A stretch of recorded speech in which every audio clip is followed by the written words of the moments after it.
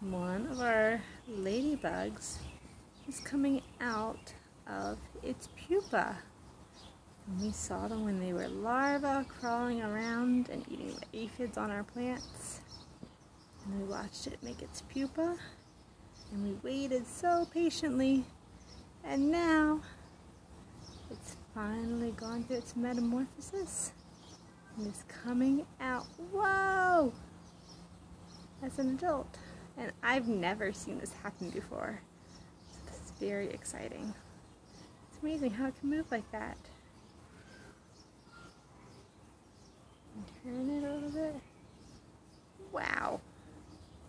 Look at that. You can see where it was attached to the leaf. Pretty cool.